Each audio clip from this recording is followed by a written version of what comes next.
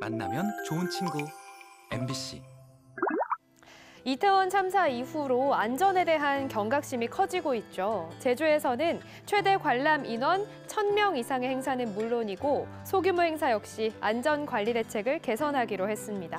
각종 행사와 야외 활동이 참 많은 시기인데 주최자도 참여자도 늘 안전을 먼저 생각해야겠습니다. 오늘 첫 소식은 울산에서 전해드릴게요. 우리 사회를 건강하고 화합하게 하려면 서로를 이해하는 마음만큼 중요한 것도 없죠. 서로 언어도 성격도 다른 이들이 만나서 동화를 만들고 마음을 나누는 시간을 가졌다는데요. 함께 만나보실까요?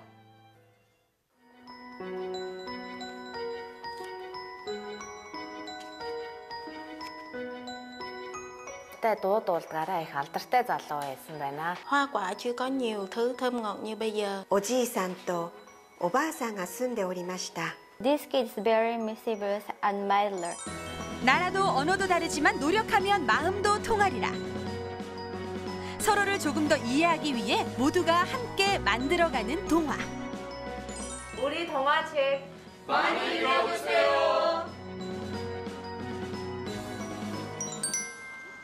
울산에서도 다문화 가정이 많은 동구에서는 최근에 재미난 일들이 벌어졌다고 하는데요. 삼삼오오 모여 무슨 일을 꾸미는 걸까요? 우리나라도 좀 다, 다문화 가정들이 점점 늘어나고 있고 근데 그런 어떤 그 실- 동구 지역은 그 조선업 조선업 중심의 도시 특성으로 인해서 외국인 근로자들이 많이 사는 지역입니다. 그리고 지난 상반기에는 아프간 특별 기여자들의 정착 문제로 이슈가 된 적이 있었죠. 어, 이런 지역사회 문제를 두고 우리가 함께 공생할 수 있는 방법이 무엇일까 고민하던 중에 아, 우리가 다문화 동화책을 발간하면 좋겠다고 생각을 했고요. 그래서 오늘 여기 계시는 다문화 여성 작가들을 우리가 모시고 그 이런 사업을 진행하게 되었습니다. 아 그럼 말처럼 생겼어요? 말처럼 머리를 아, 완전 말 아, 말머리예요. 그게 무슨 학교를 호호 몽골어로 남자 이름이 호호 남질이라고 해요. 네, 몽골어로. 호호 남질 아 호호 남질. 강에서 네. 세탁하고 있었거든요 가- 강에서 강에서 네, 네. 예, 옛날에는 강에서 세탁하잖아요 네, 네. 근데 그 강에서 세탁하다가 빨간막이에요. 빨래. 아 빨래. 빨래입니다 예, 예. 그 카프레는 나쁜 카프레도 있고 좋은 카프레도 있어요. 근데 사람 행동 따라 네. 그 사람이 뭐든지 다 하늘이 복 내리신 해준다고 이렇게 얘기했어요. 그래서 왕이 밑에 한 사람이 제가 어릴 때부터 듣고 왔는 그런 동화를 예 갖고 왔습니다 어떤 이야기? 그 옛날에 뭐 할아버지 할머니가 에, 살고 있었고 그 뭐 음, 아, 아, 아 죄송합니다. 아, 어떤 이야기를 또 이렇게 정해주셨어요? 저는 바나나의 전설. 바나나에 어떤 전설이 있습니까? 있어 있, 있어요. 어, 쉽지는 않았지만 그 뭐 작가님도 뭐 많이 도와줘 하니까 좀 괜찮았습니다. 도움 줄 수 있다고 생각해서 그 저한테도 좋은 기회였습니다. 제가 먹는 거 이것밖에 없어요. 제가 이거 수박에 저또 몇 개더 주셨어요. 그래서 왕이 이렇게 들어 하니까 아 그렇구나. 너무 맛있어. 그래서 아 이거 과연 어디서 났냐고 하니까 섬에서는 먹을 게 별로 없었는데 네. 그 거기서 자꾸 뭐 했는데 그 새가 유창하게는 말을 잘 못하시지만 그래도 의미 전달하는 데는 큰 애로사항이 없을 거예요. 아프가니스탄 같은 경우에는 그 통역하시는 분이 그 통역을 해줬습니다. 예. 그래서 이제 어, 기본 초안을 잡고 이제 같이 이제 글 써서 이제 작품을 완성해 나갔죠. 그리고 첫 번째가 느낀 거는 재밌다. 아 진짜 그날의 옛날 이야기도 우리가 들어도 재밌고 이걸 어, 동화를 우리나라 말로 동화를 써서 우리 아이들한테 읽게 하면 우리 아이들도 참 재밌어하겠구나 그런 걸 많이 느꼈습니다. 이런 과정에서. 옛날 옛적에로 시작하는 이야기가 재밌는 것만큼은 만국 공통인가 봅니다. 이 재밌는 이야기들을 엮어 만든 책 이름은 우린 모두 다 예뻐. 어 만드는 이들의 마음도 책도 모두 예쁘네요.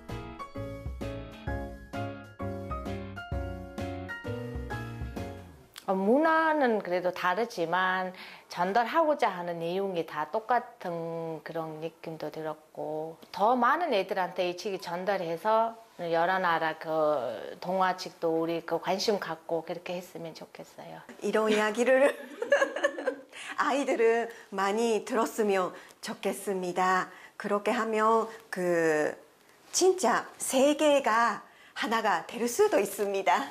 예, 감사합니다. 동화를 만드는 이들의 마음씨만큼 화창하고 맑은 날씨.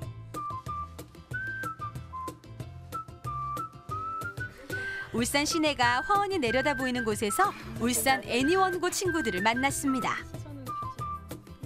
자리에 앉자마자 무언가에 한껏 집중하고 있는 친구들. 뿔난 호랑이부터 다양한 모습의 할머니까지 거침없이 그리는데 뭐 하는 거예요, 지금? 아 그림 그리고 있어요. 무슨 그림? 동화책이요. 그 자원봉사로 다문화 가정분들이 만든 동화책의 사파를 저희가 맡게 돼가지고 그림을 그리고 있어요. 네, 이게 꽃 피우는 할아버지라고 욕심쟁이 할아버지랑 착한 할아버지 역할이 나오는데 이제 욕심쟁이 할아버지는 좀 많이 욕심을 부리는 역할이니까 떡두꺼비 같은 인상으로 부리부리하게 좀 그림을 그렸고요.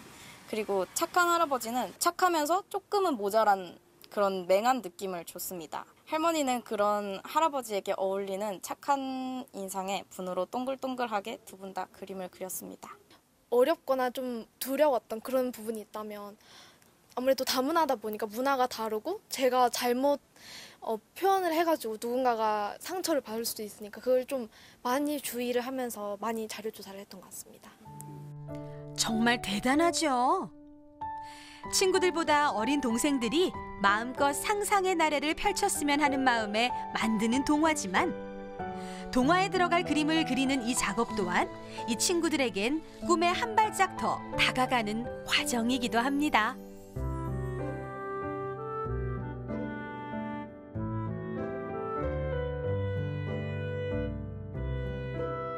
일단 제 그림이 그런 다른 사람, 다른 작가님들의 글하고 어울려 붙여서 나와 있는 거를 본 적이 한 번도 없잖아요. 그걸 처음으로 보니까 이걸 프린트해서 딱 보니까 와 이게 어른 어른이란 건 이런 느낌이구나 살짝 그런 느낌이 들었어요.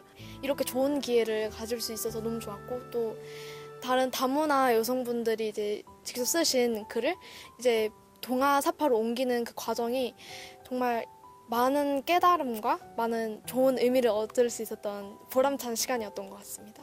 작품을 만들 때 이제 제 주변에 있는 문화에 대해서만 이야기를 하는 것이 아니라 좀 더 다양한 곳에 시각을 둬야겠다고 생각하고 있습니다.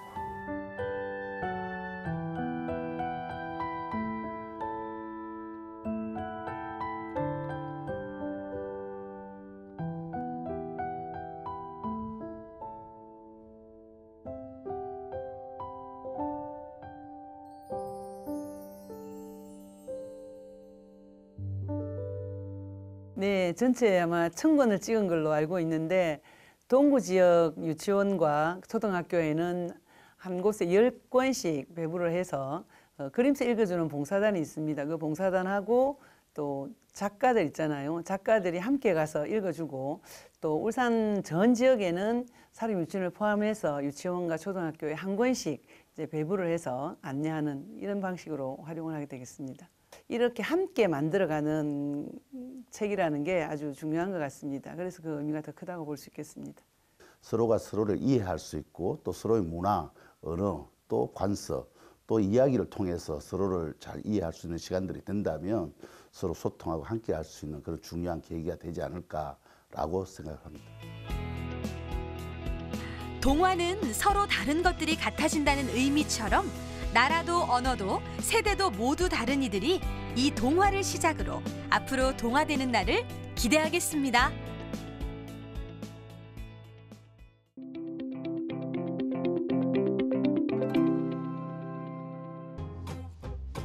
가장 한국적인 게 가장 세계적인 것.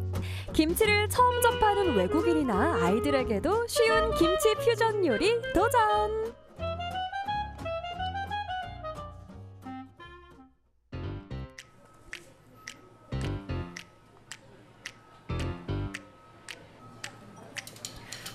여긴 분위기로 먼저 먹고 들어가는데?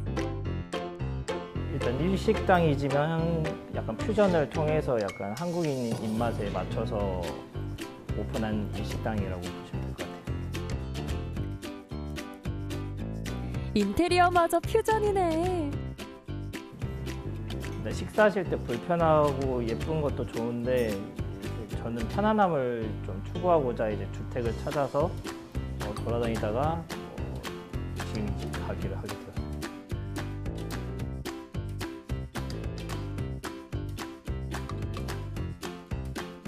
어, 그냥 심심해서 연필 있길래 한번 그려봤는데 그게 반응이 좋아가지고 한 번씩 칠판에 낙서하기도 하고 손님들도 방명록 같이 적고 가기도 하게끔 만들어놨습니다.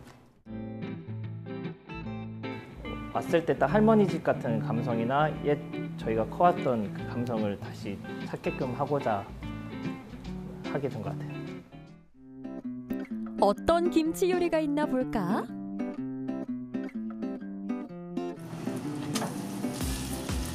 김치가 익은 김치하고 안 익은 김치로 나눠지다 보니까 사람 입맛이 다 달라서 그 중간점을 찾는 게 조금 어려웠고요. 아버지가 직접 재배하신 고춧가루도 맛의 비결. 어느 정도 숙성이 됐을 때 저희가 김치를 볶아서 볶은 후에도 또 이제 하루 정도 이상 숙성 서서 이- 이용하고 있습니다. 여기까지는 보통 김치찌개 같은데 이 집만의 필살기 직접 끓인 육수와 일본에서 받아오는 우동면. 맛이 도통 예상이 안 가는걸. 곧바로 나오는 다음 주인공 가스가스 돈가스. 한눈에 봐도 신선한데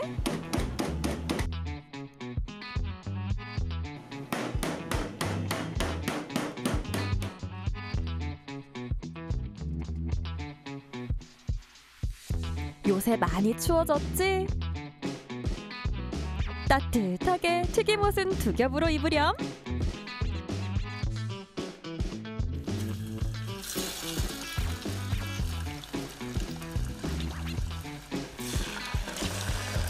갓 튀긴 돈가스는 반칙이지. 무슨 돈가스가 이렇게 반짝거린담.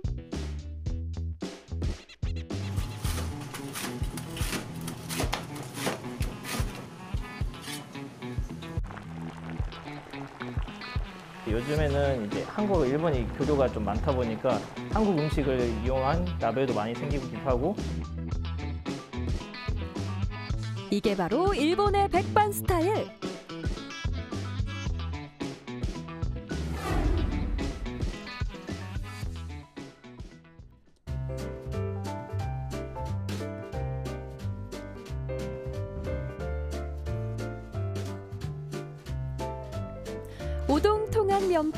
입에 꽉 차는 이 느낌.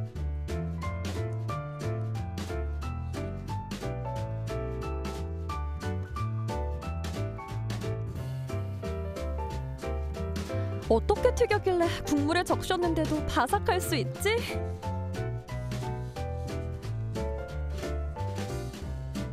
오, 생각보다 얼큰하다. 좋아, 쌀밥 바로 출격.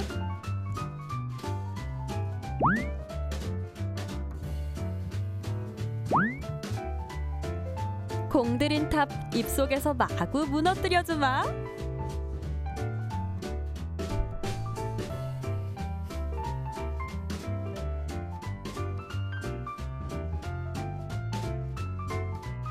돈가스부터 알아봤지만 여기 정말 튀김 맛집 인정. 네, 계속 직원들과도 개발 중이기도 하고 어, 아직 저한테 남겨져 있는 음식들이 많이 있기 때문에 계속 선보일 예정입니다.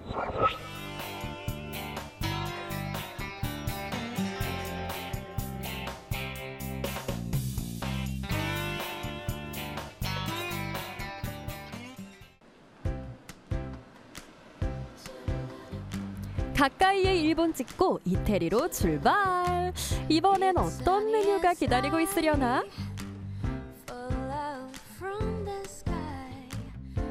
저희 가게는 좀 작고 아담하고 좀 아름답게 나무 주변에서 식사할 수 있도록 하고 싶은 식당입니다.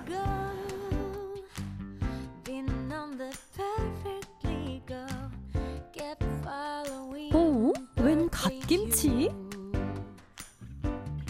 갓김치의 그 알싸한 맛과 톡 쏘는 맛이 좀 크림 소스를 이제 느끼함을 좀 윤화시켜 줘가지고 이건 그냥 먹어도 맛있겠는데? 다 한 번씩 맛을 보고 이제 같이 곁들여 먹어보고 그 후에 다 결정을 하였습니다.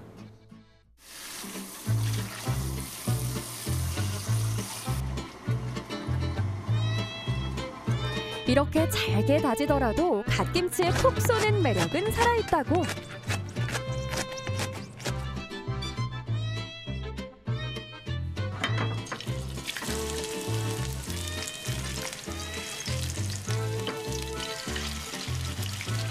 로즈메리 향으로 굽는 채끝살이라 이건 이미 게임 끝인데.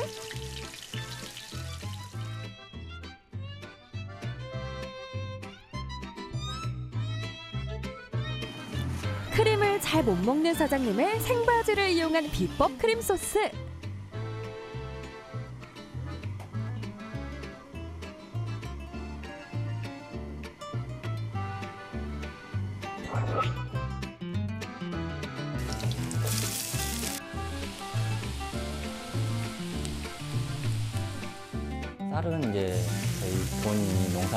보니 직접 가져와서 하고 있습니다. 보리와 귀리를 넣으니까 리조또 쌀 느낌이 나잖아. 뭉근하게 한 소끔 끓여내면 리조또 완성.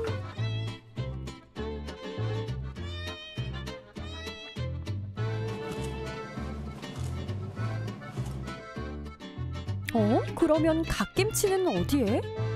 아, 옆에 한 움큼 올라가는구나.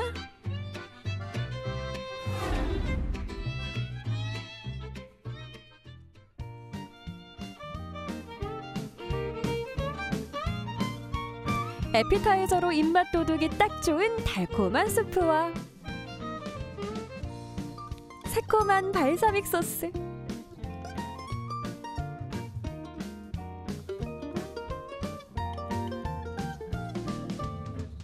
같이 비벼서 드시는 경우 있고요. 아니면 이제 리조또랑 스테이크 위에 김치를 얹어서 드시는 방법이 있습니다.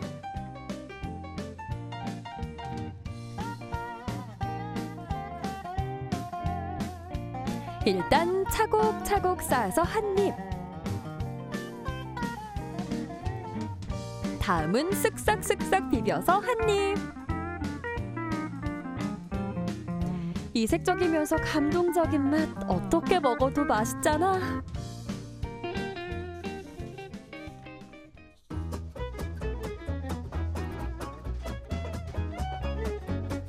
또 다른 스테디 메뉴 라자냐. 밥경찰 가지도 이렇게 먹는다면 두렵지 않아.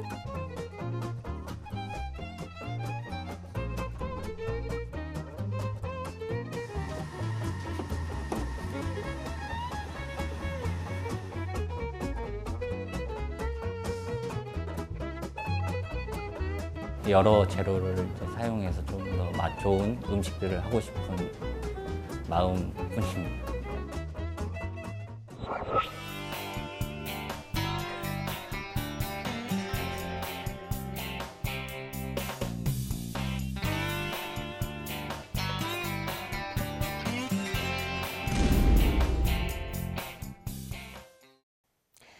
다음 소식은 춘천입니다. 연애에 관한 다양한 고민을 음식을 만들면서 풀어보는 시간인데요.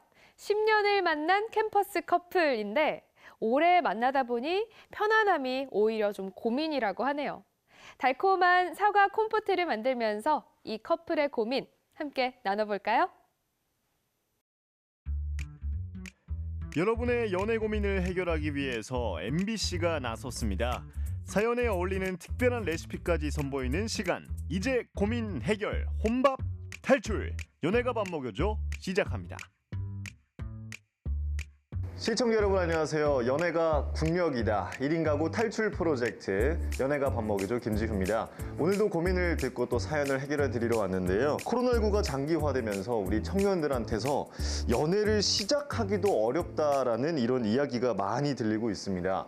애인이 없는 미혼 남녀의 78% 10명 중 8명이 코로나19 이후 1년 동안 이성을 만나거나 소개받은 경험이 전혀 없다고 답했다고 합니다. 아, 청년들이 어, 이렇게 이겨내야 할 것이 이렇게 많은지 참 마음이 아픕니다. 게스트와 함께 고민해 보겠습니다. 안녕하세요. 간단하게 자기소개 부탁드릴게요. 어, 저는 춘천 MBC 미디어 사업팀에서 온라인 마케팅을 담당하고 있는 손윤정입니다. 그럼 저희가 이제 가장 중요한 질문을 드릴게요. 지금 연애 중이신가요? 아니요. 아, 지금 안 하고 계세요? 네. 어, 코로나19로 인해서 연애하기가 굉장히 힘들어졌다고 청년들이 답을 했거든요. 비슷한 이유로 좀 연애를 안 하신 건가요? 어, 아닌 것 같아요.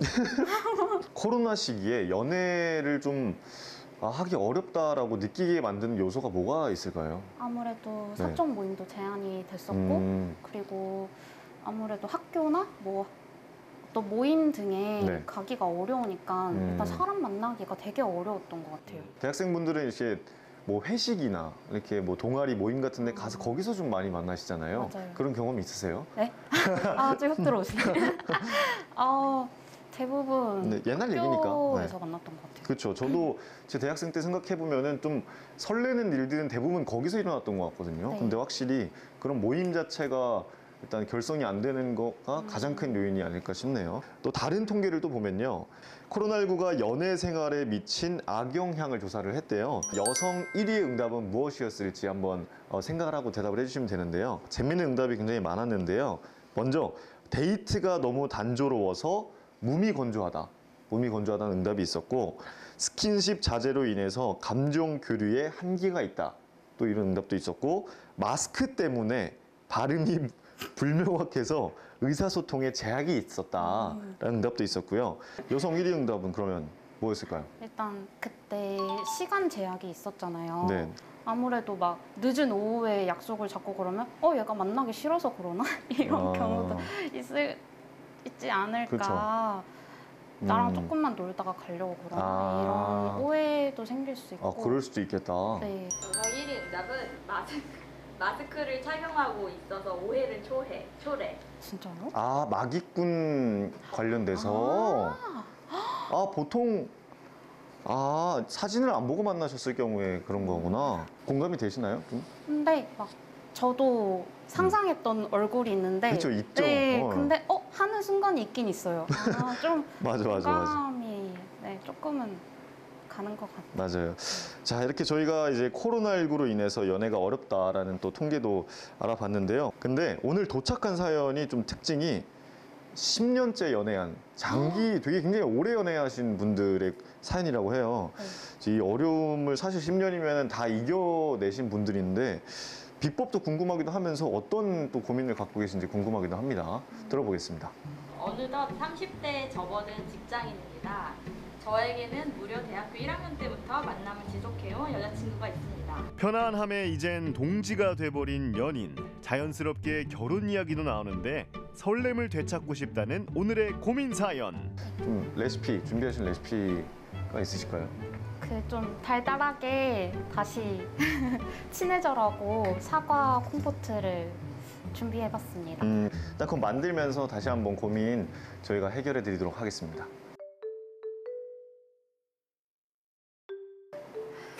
조심하세요 어. 아 이렇게 해서 네 쪽씩 해서 씨 빼고 네. 난 군대 있을 때 이렇게 깎아봤는데 잘 썼는데요? 3년 만에 봐요. 아, 요거는 제가 이제 그 군복무 할때 아. 이제 훈련병들 썰어주기 위해서 습득한 거고요. 오. 네.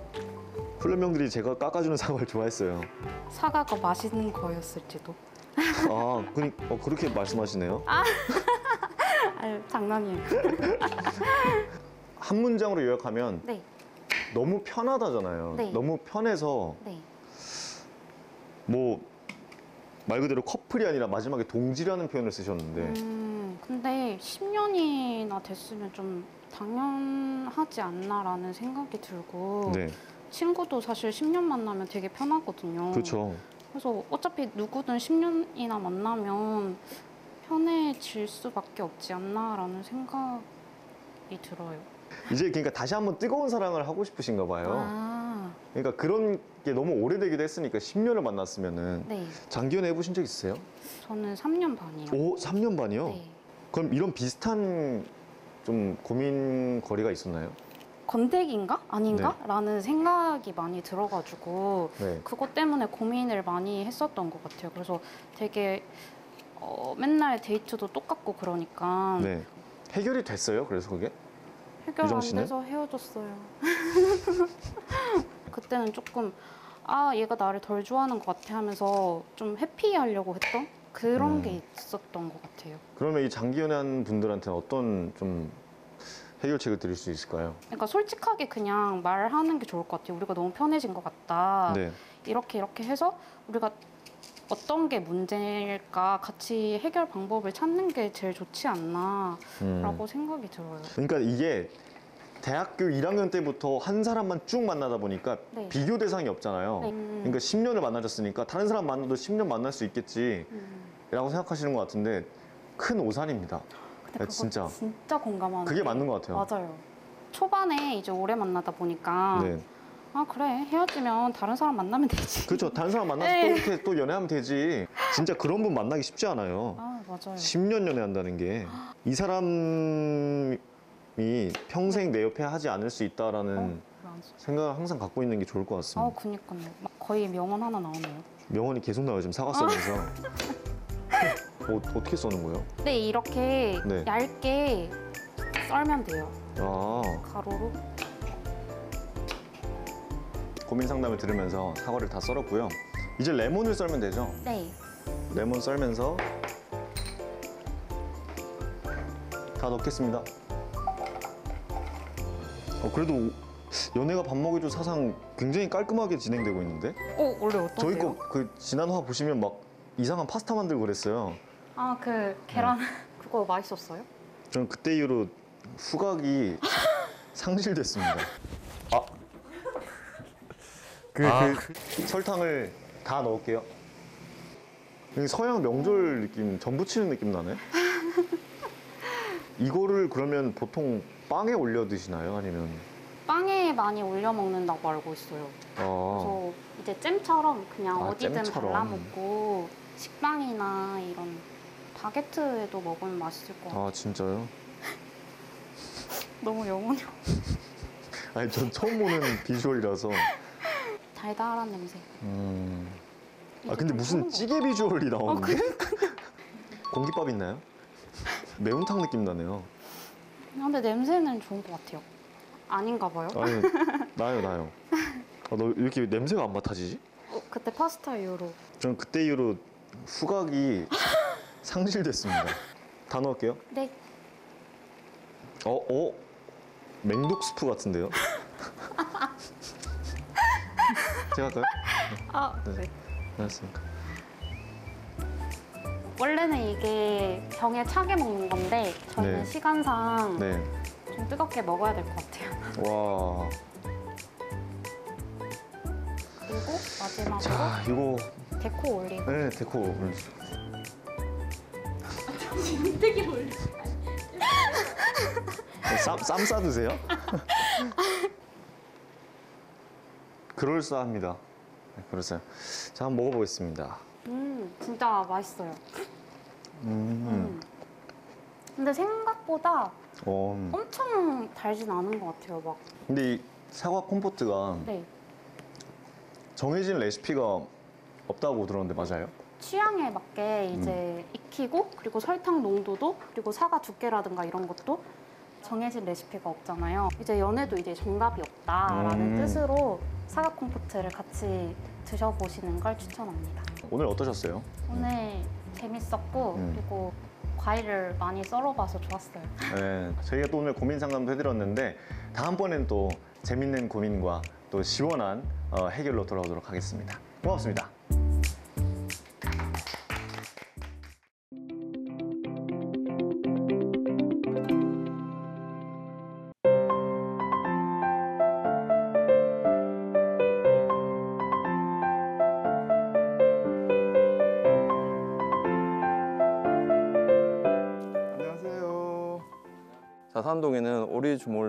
산채나물이 맛있는 집이 있습니다.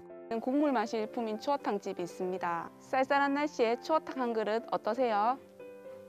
우리 동네에 20 넘게 운영하는 삼계탕 집이 있는데 저도 몇 번 찾아가 봤는데 맛이 좋고 담백하여 적극 추천합니다.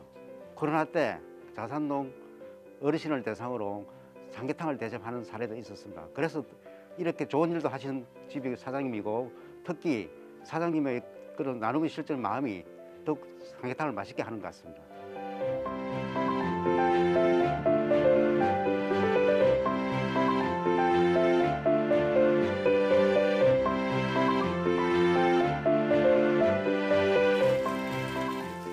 안녕하세요.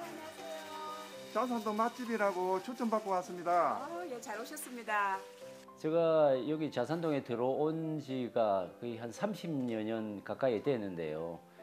그 전 몇 년 전부터 부모님 생각하는 마음에 동네 어르신들이 눈에 많이 어, 밟혀서 아, 봉사를 할 수 있는 길이 뭔가 이리 고민을 하다가 한계탕을 독거 노인들에게 제공을 해 하면은 참 좋겠다.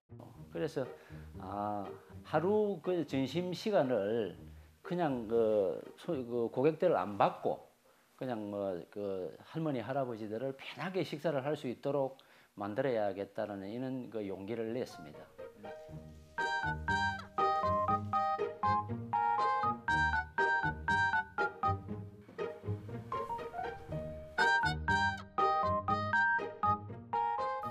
네, 100년 가게의 전통을 이어나가기 위해 열심히 배우고 있는 이세 조수아입니다. 이제 30년 넘어서 100년을 이어나갈 이제 100년 가게의 이세가 된 조건호라고 합니다. 딸그 오늘 뭐 예약 손님 있다면서? 네, 오늘 6시 반에 음. 마산 야구부에서 음. 음. 그래 아들 뭐 잘 알고 있지? 네, 어 준비해놨어. 그래 그뭐 준비 잘했어. 어 우리 하여튼 뭐 잘해보자. 어, 어 그래. 본 직장을 다니다가 이직하려는 찰나에 아버지가 좀 아프셔가지고 하, 고민을 좀 많이 했지만 그래도 이제 아버지가 30년 넘게 해오시는 사업이니까 비전이 있겠다. 제가 이제 이 사업을 좀 제대로 배워서 이제 제 업으로 만들면은 성공할 수 있겠다. 좀 그런 생각을 가지고 이제 아버지의 권유를 승낙하게 되었죠.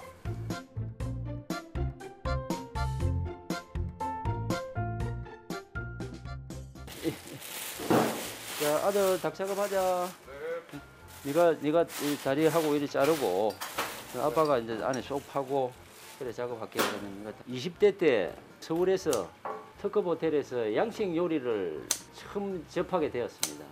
그러니까 열심히 이렇게 양식 요리를 하다가 이제 또 고향 선배의 권유로 인해 가지고 마산에 또이 양식집으로 스카우트 스카웃이 돼 가지고 그래가 양식 요리를 하다가 어, 내 사업을 해야겠다.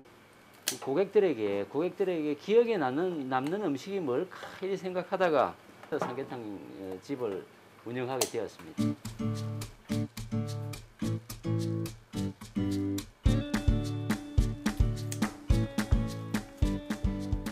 닭은 항상 깨끗하게 이렇게 작업을 해야 그래야 고객들이 예, 맛있게 잘 드신다.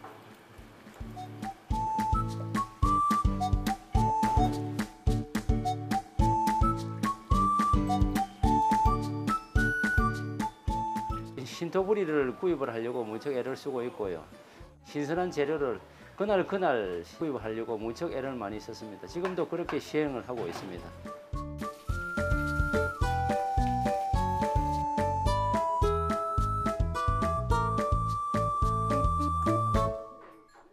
정말 다르죠.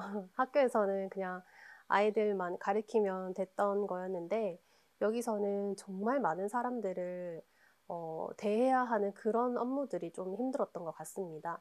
어, 아버지께서 일하시는 걸 가까이에서 직접 보니까 정말 아침부터 저녁까지 정말 열심히 일을 하시더라고요. 인간적으로 봤을 때도 정말 힘드실 것 같은데 어, 큰 소리 없이 또 꾸준히 성실하게 일을 하시는 걸 보아하니 정말 존경심이 들었습니다.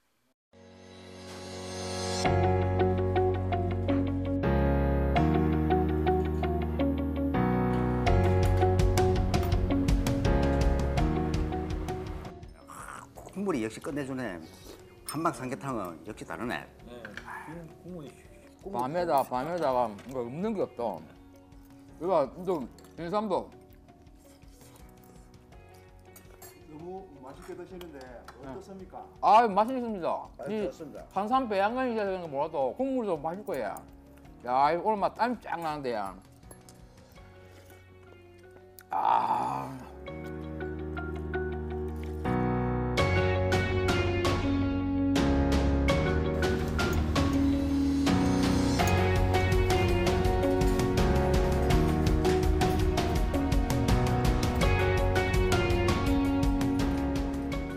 맛이 담백하고 좀 깊은 맛이 있어서 이 국물이 또 깔끔해서 이 저희가 자주 찾곤 합니다.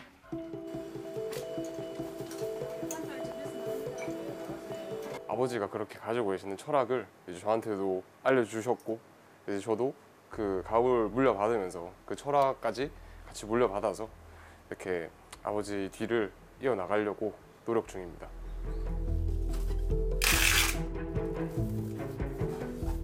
이제 코로나가 저희 삶에 또는 사람들의 라이프 스타일을 많이 변화시켰다고 생각합니다.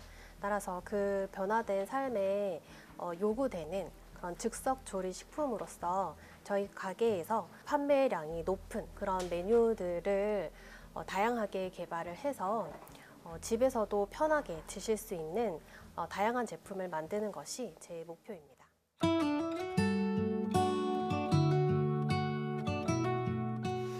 우리 딸은 교사를 포기하고 어, 부모의 가업을 물려받기 위해서 에, 와서 열심히 일을 하는 모습에 참 흐뭇함을 느끼고 있습니다. 그리고 우리 아들도 역시 마찬가지로 어, 다니던 직장을 그만두고 어, 아, 아빠의 그 가업을 물려받기 위해서 합류해 주어서 정말 그, 그 감사하게 생각하고요.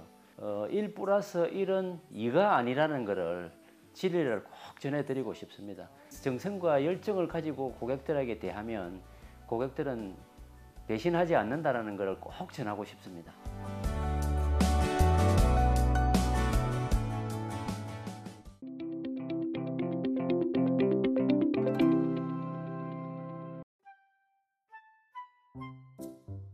영롱한 빛깔이 언뜻 보면 자개를 떠올리게 하는데요. 매혹적인 금빛이 각도에 따라 다채로운 빛깔로 빛나는 맥간공예입니다. 네, 맥간공예는요 보리대라는 뜻이고요. 그 보리대를 이용해서 만드는 공예입니다. 밀집이나 보리지폐 줄기로 생활용품을 만들면서 시작된 우리나라 전통 공예. 이 맥간공예가 이제 하나의 예술 작품으로 각광받고 있는데요. 보리대가 빚어낸 빛과 결의 아름다움을 만나봅니다.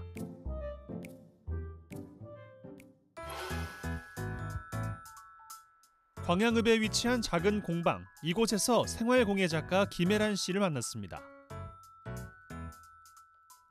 그녀의 손에 들려 있는 건 다름 아닌 보리대입니다.